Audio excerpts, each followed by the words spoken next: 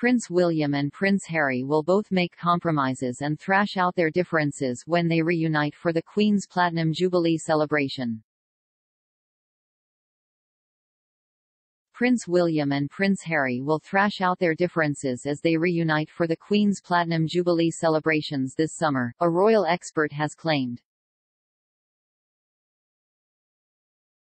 The Duke of Cambridge, 39, and Duke of Sussex, 38, are said to have barely spoken and had an incredibly strained relationship after two years of rows over Harry's wife and her alleged treatment of staff, the couple's decision to emigrate to America and the tons of truth bombs the Sussexes have dropped in TV interviews watched by tens of millions of people around the world. However Vanity Fair's Katie Nicholl has now revealed how the brothers will come together for the Queen's celebratory weekend in June. Speaking to Birmingham Mail, she said the two would be required to appear alongside one another, adding, both brothers will have to make concessions. The Jubilee should give them more of a chance to thrash it out. The relationship between the two has been strained in recent years but sources recently claimed Prince Harry hoped to be back in the fold in time for the Jubilee. He is expected to return to the UK for the Platinum Jubilee, which will see the country enjoy a four-day bank holiday from June 2 to 5.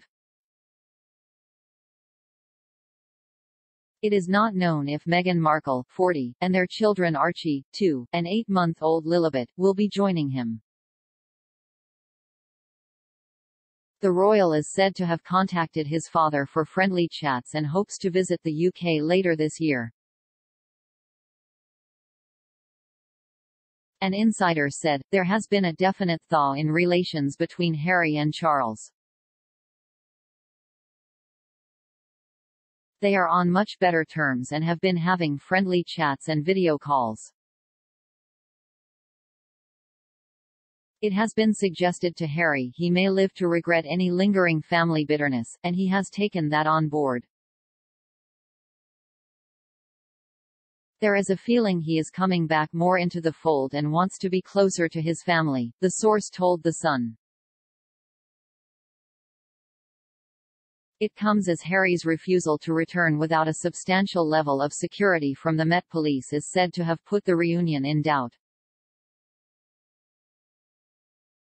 Prince Harry faced outrage over his threat of legal action against Her Majesty's government. He is seeking a judicial review of the decision to strip him of his UK police protection team, claiming it is too dangerous to visit without Scotland Yard bodyguards. A former head of royal protection warned the royal cannot pick and choose when he wants to visit the UK and receive protection. Dai Davies pointed out Princess Anne was nearly kidnapped and her protection officer was shot, but she does not get full-time protection. His comments came as sources suggested the Queen will not help her grandson in his demand for security personnel when he comes to Britain.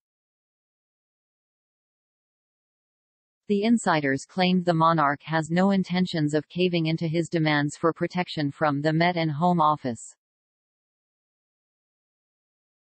A source told the Mirror last month, the Prince of Wales has been saddened that he hasn't had the opportunity to spend time with his grandchildren, which he really does miss. He is a fantastic grandfather and loves playing the role immensely and it's certainly fair to say he feels there is something missing from his life without the ability to get to know Harry's children. This is something he is hoping to remedy which is why he made the gesture for Harry, Meghan and the children to stay with him if they wanted to, whenever they may come home for a period of time.